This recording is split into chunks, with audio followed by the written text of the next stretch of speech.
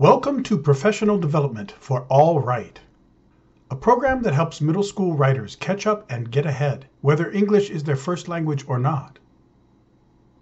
The program includes a student handbook, a grammar skills book, and a free online teacher's guide. Let's take a look at the student handbook. This is All Write, a student writing handbook for middle schoolers. As you can see on the back cover, the book has five main sections the process of writing, the forms of writing, the tools of learning, the proofreader's guide, and the student almanac. The process of writing section helps students understand the basics of writing, use the writing process, pre writing, writing, revising, editing, and publishing and practice the basics of sentences, paragraphs, and essays. The forms of writing help students to write the major modes personal, narrative, explanatory, persuasive, literary, research, creative, and writing across the curriculum. The tools of learning focus on the skills that students need to be successful in any class, such as research, thinking, reading, learning, and speaking and listening. The Proofreader's Guide provides rules and examples for punctuation, mechanics, spelling, usage, idioms, sentences, and the parts of speech. The Student Almanac includes exciting pages on language, science, mathematics, and geography. Perfect to inspire writing across the curriculum. Let's take a look at the process section and this chapter on pre-writing. Students build a file of writing ideas using a number of different strategies, including drawing a life map. They select a topic by analyzing the writing situation with purpose, audience, subject, and type. They learn about free writing, listing, clustering, and using the basics of life checklist. They review possible topics for the different modes persuading, explaining, narrating, and describing. And they also peruse writing prompts that can get them going. Once they have a topic, students learn different strategies for gathering details about it, conducting research, and interviewing others. They learn about all sorts of different graphic organizers that they can use to get their ideas in order. They learn about planning, finding a focus, and choosing a pattern of organization. And they learn strategies for arranging their details, listing, and outlining. The chapter that follows addresses skills for writing and revising. Now let's take a look at the forms section with this chapter on writing informational essays. Students receive an introduction, they read a sample informational essay, use a diagram to think about the structure of the essay, and then follow guidelines to create an essay of their own, choosing a topic, gathering details, writing the first draft, revising, and editing. They learn about different types of informational topics, writing about a place, writing about an object, writing a definition, or writing about an event. The chapter that follows helps students write explanations. Now let's look at the tools section with this chapter on reading nonfiction. Students learn about the patterns of nonfiction, using different graphic organizers to visualize what they're learning. Many texts include a main idea and supporting details. Others create a comparison contrast.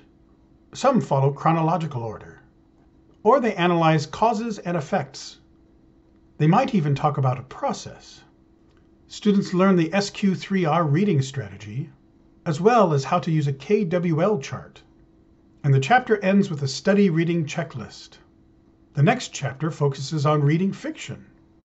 Now let's take a look at the proofreader's guide.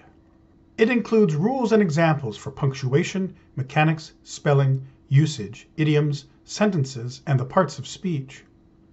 This first page focuses on the rules for periods. The next two pages focus on question marks, exclamation points, and commas.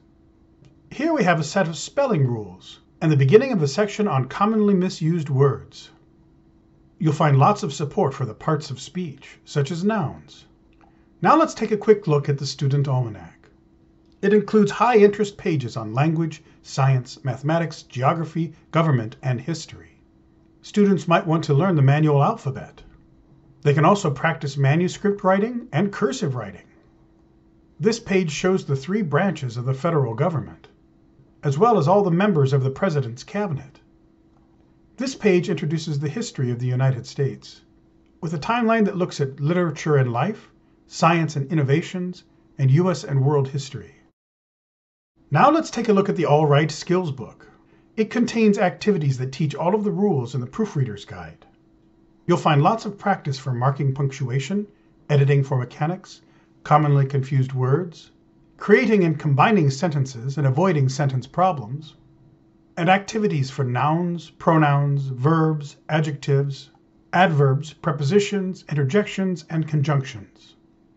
You'll also find a whole section of mini lessons that you can use to reinforce student learning, as well as daily sentence activities. Let's take a look at a few proofreading activities. Here we have practice for end punctuation, as well as using commas, and more practice with commas. Here we have activities for practicing sentence combining. Here we have mini lessons to improve spelling and to sort out commonly misused words. And here are some of the daily sentences that students can use to practice what they're learning. You can supplement your grammar instruction from the All Write Skills book by using the Write on Course Skills books for grades 6, 7, and 8. They contain cross-references to the All Write Handbook. Now let's take a look at the free online teacher's guide. You can get to it anywhere that you have internet access with no login required. Simply go to k12.thoughtfullearning.com and click on Teacher's Guides. This will bring up a page that is filled with teacher's guides. You can watch a video to get started. Getting started with your free online teacher's guide. If you are working with one of Thoughtful Learning's student writing handbooks, you may have noticed that there is a free online teacher's guide. And then scroll down to your teacher's guide for All Write. You can see that the teacher's guide includes a scope and sequence, year-long timetable, getting started activities, chapter by chapter guide to the student handbook, assessing writing, research basis, and activities and handouts. Let's look at the year-long timetable. This suggested year-long timetable presents one possible sequence of writing and language skill units based on a five days per week class. You'll note that it includes chapters from the handbook, as well as activities from the All Write Skills book and the Write on Course Skills books. In week one, you might want to start with some getting started activities. This page is full of activities that you can use to get your students acquainted with the handbook.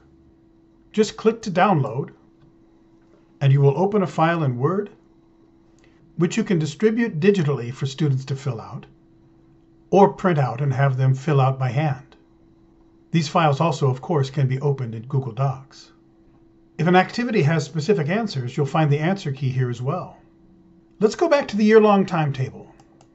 After some getting started activities, we'll use the front part of the book, including the table of contents, to help students understand how to navigate. Then we'll start with writing in journals and learning logs. Clicking that link takes us to the chapter-by-chapter -chapter guide. Here we see the opening page of the chapter, get a startup activity to introduce it to our class, see a think about it quote, review the state standards that are covered, and receive page-by-page -page help for teaching the material, including mini lessons.